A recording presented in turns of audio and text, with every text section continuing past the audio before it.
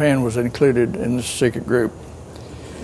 In the last meeting, there were 96 uh, delegates from the U.S. and Canada, 157 from Europe, uh, European Union or Western Europe, and 75 from Japan. Now, the object of these three secret organizations, there's only one object, and that is to form a one world government. When Bill, uh, when uh, George Herbert Walker Bush was president, he stated in several of his speeches the term New World Order.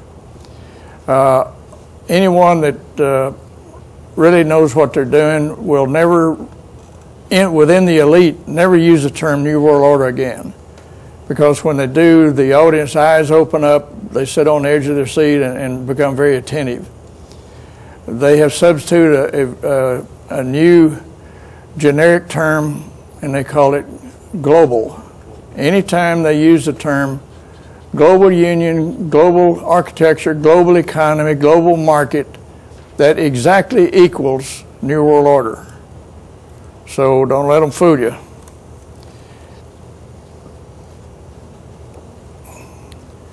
Now let's talk about uh, some of the members of the elite.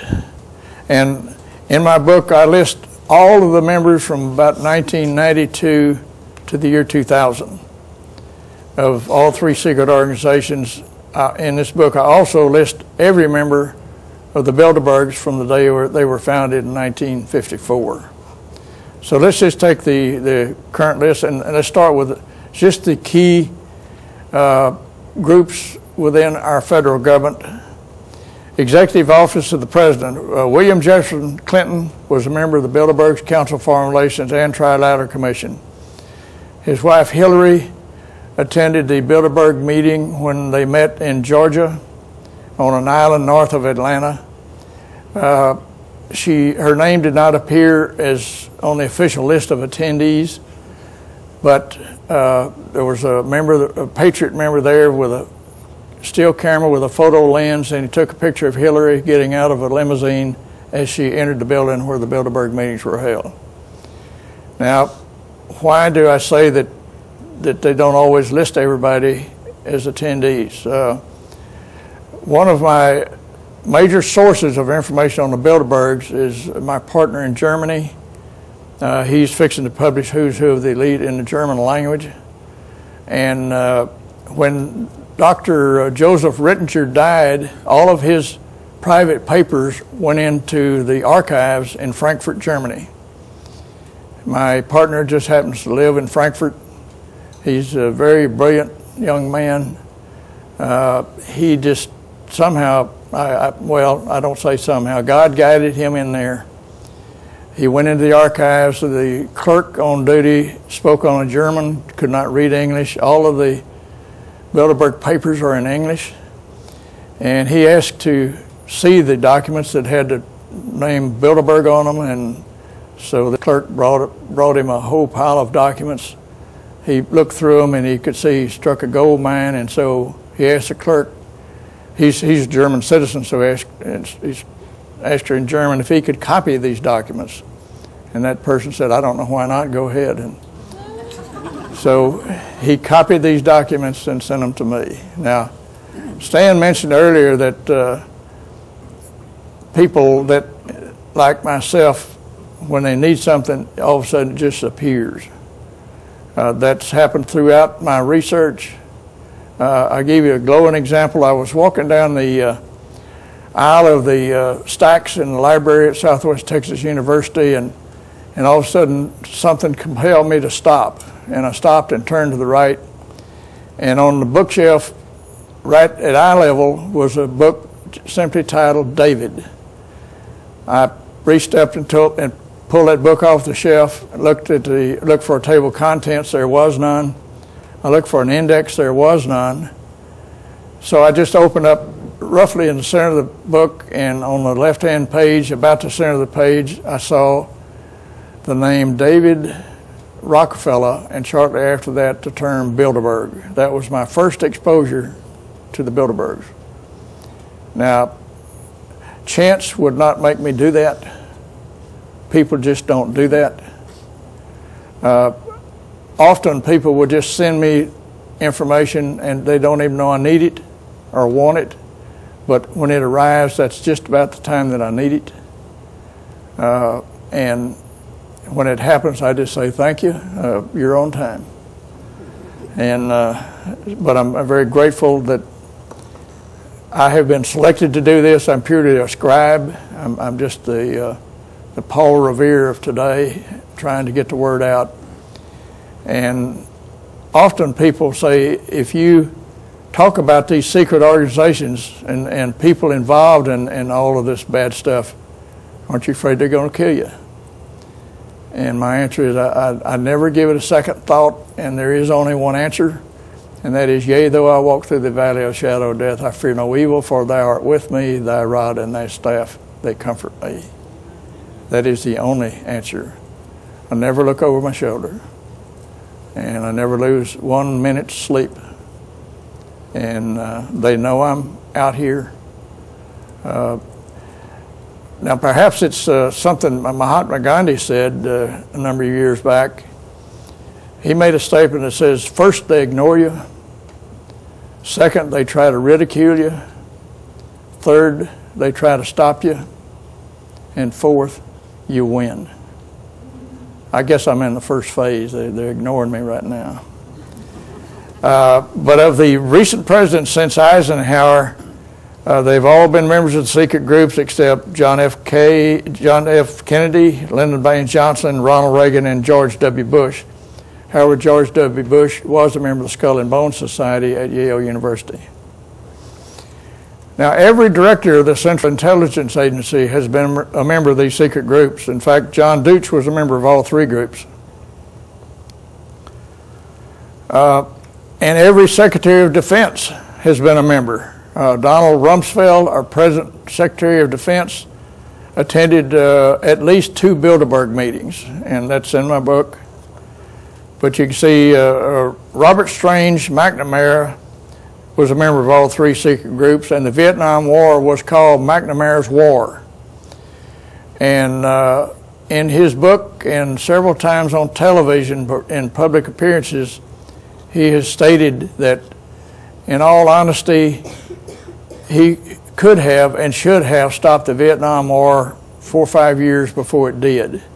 But he didn't have the power or, or the, the courage or whatever it was to confront the insiders. He didn't name, he didn't say insiders, but he said I couldn't confront them and, and say that we needed to stop it. But he was really talking about the, the international bankers who make money off of wars uh, they financed both sides of wars. They made lots of money off the Vietnam War and did not want it to stop. They didn't. They didn't care one hoot whether people were killed or maimed or uh, all the horrible things that happened to them there. They were in their ivory towers counting the money, and that's all they cared about.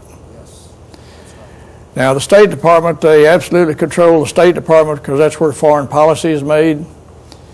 Uh, General Colin Luther Powell is a member of Bilderberg's and Council of Foreign Relations. Now, when you go in the book to the listing where I list everybody that's ever attended a Bilderberg meeting, the only person that has attended every Bilderberg meeting is a fellow named David Rockefeller. The person that has attended the most meetings after David is a fellow named Henry Kissinger. He's uh, Dave Rockefeller's left hand man, and uh, Henry is a member of all three secret groups. Uh, he really controls the, the uh, uh, commerce in China. If you want to do business in China, you must go through Kissinger and Associates. So uh, you've got some really evil people involved in the inner circle of these secret groups. And they go back all the way to probably Woodrow Wilson.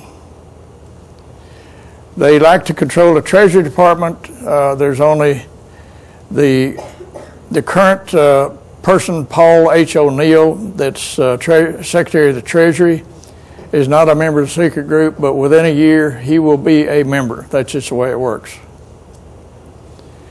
Uh, United Nations, every UN ambassador except two in recent years have been members of these secret groups. This is more within the United Nations.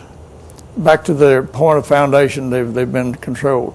They also control the House of Representatives in our government. Thomas uh, S. Foley was a member of all three secret groups. He was uh, Speaker of the House.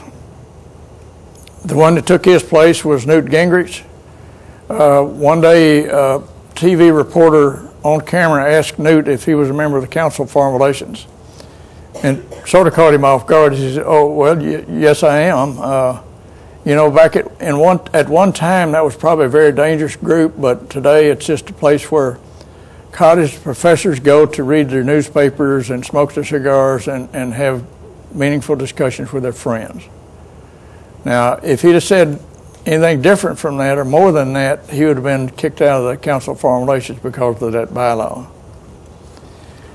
Uh, you see, Lee Hamilton has been a member of all three secret groups. Lee is a very docile appearing person, but he cannot be uh, docile if he is a member of these secret, all three groups.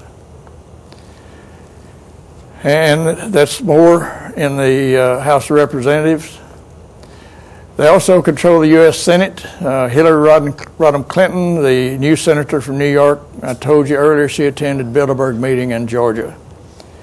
Uh, John Chafee is another fairly docile appearing person, member of all three secret groups.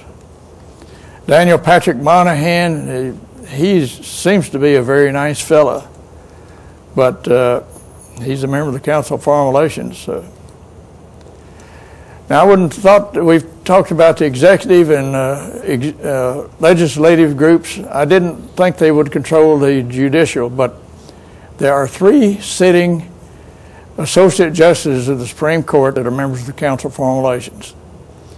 Now, the last time there was a vacancy on the Supreme Court, the news media uh, published a short list of the five people that were considered to be the next sitting justice.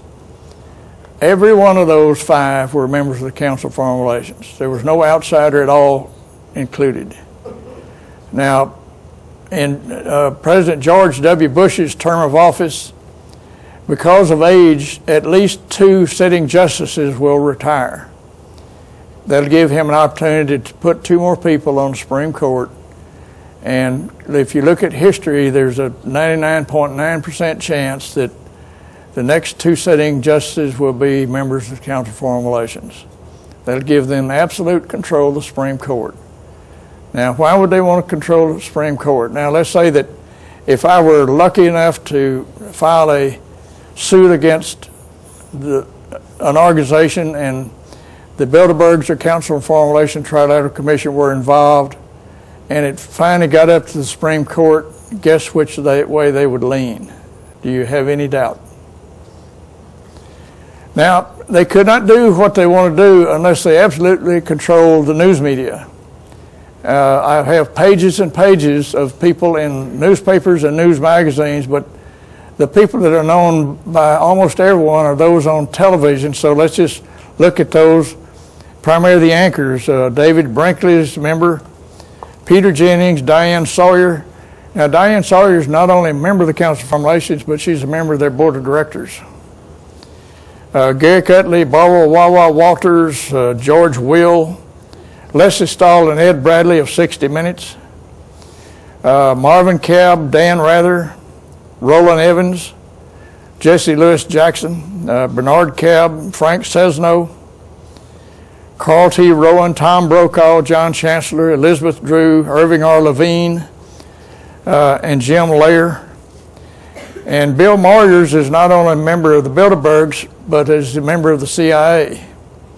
And when